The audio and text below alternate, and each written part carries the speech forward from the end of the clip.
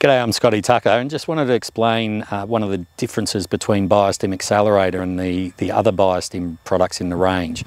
So our, our core nutrient reduction type products are Biostim liquid, Biostim powder, Biostim pellets and Biostim tablets and they do a, a similar type of uh, process or similar type of thing in terms of degrading sludge and organic material that's in a dam.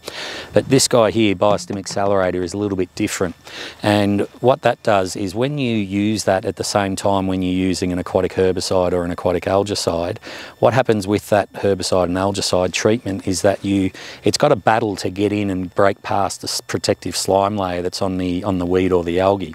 And one of the things that Biostim Accelerator does is that it makes it more susceptible by uh, enabling bacteria to uh, to open up or degrade that slime layer, allowing the chemical treatment to get in.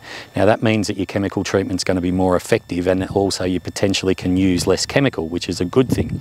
Now, the other thing that it will do uh, is that when that plant is then destroyed by the algicide or herbicide, it will release things like chlorophyll and nutrient back into the water.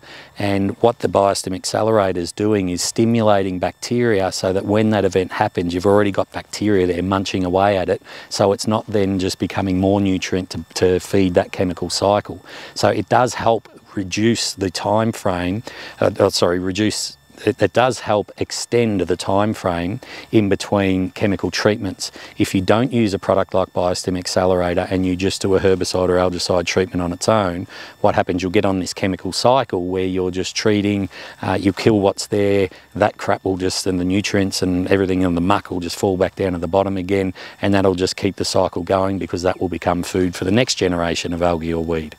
Uh, it's also very effective, uh, certain types of filamentous algae have uh, kind of like spores, akinetes they're called. And uh, again, they're very difficult to penetrate with a herbicide or, a, or, or an algicide. So Biostim Accelerator will allow natural processes to degrade that uh, that, that layer and make the chemical more susceptible, make it more susceptible for the chemical. So it, uh, in a nutshell, it, it, reduces the amount of chemical that you need. It extends the time period between the likelihood of the algae or the weed growing back, and it cleans up the rotting mess that's left behind. So it's a very good uh, supplemental product to use with a, a, herbicide or an algicide, or if you've got a lot of dead, decaying, uh, rotting material in your dam, say lots of leaf litter or anything that's already dead, this stuff will degrade much, much faster. It won't kill the stuff on its own. It's not, that's not what it's for. But when you use it on its own, it will degrade the stuff that's already dead or dying and speed that degradation process up whilst making the nutrients unavailable for the regrowth of, uh, of weed or algae. So it's a very good product to use.